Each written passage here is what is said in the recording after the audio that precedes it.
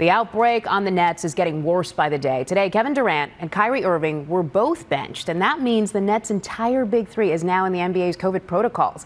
And it comes less than a day after the team announced that it's bringing Kyrie back for road games. News 4's John Chandler is in the newsroom to help us understand what's happening here. John? And it is a lot to try and understand, Gilma. The Nets have nine players in protocols, including their big three, Kevin Durant and Kyrie Irving, now joining James Harden on the list today. Kyrie's announcement uh, of his return to the team effectively on hold because of this, just as quickly as he was coming back. The immediate help with so many players out was really part of Brooklyn's driving reason for reversing its stance and allowing Kyrie Irving back as a part time player.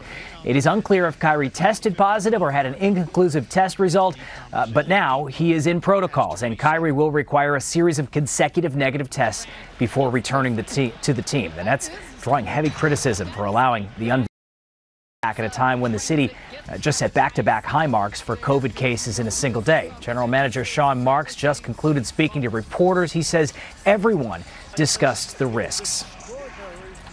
You know, several months ago, we made a decision uh, that was based around what was best for the team. What was best for the team at that point was continuity. And I, I think we all see that continuity right now over the course of the last week and you know whatever the future looks like maybe out of the window for a while. And we've got to navigate that as best we can.